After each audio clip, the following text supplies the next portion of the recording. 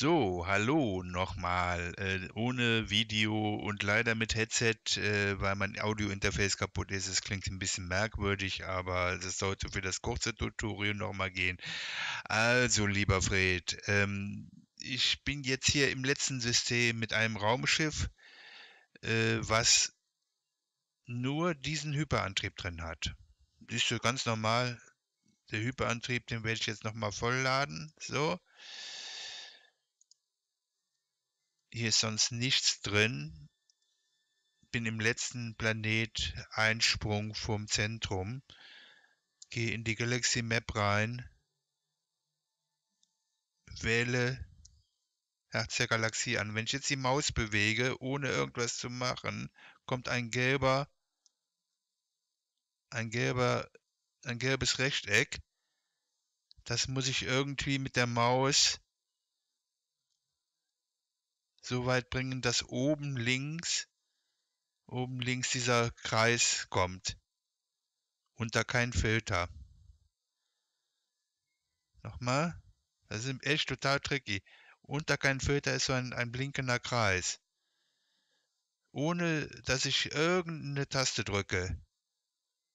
So, wenn der Kreis kommt, dann drücke ich die. Was war es denn? Jetzt kriege ich selber nicht hin. Nochmal. Ja.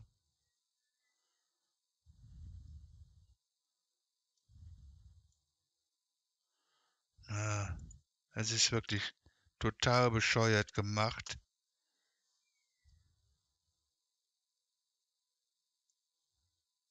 So, wenn ich jetzt die Maustaste drücke, na, springe ich darüber, drückt dann mit linker Maustaste Warpen und das war's. Also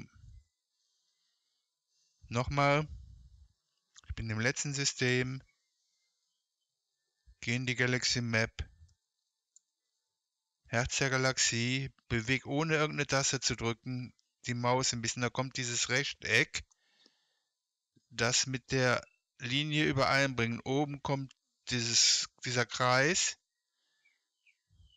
und dann mit der linken Maustaste kurz gedrückt halten,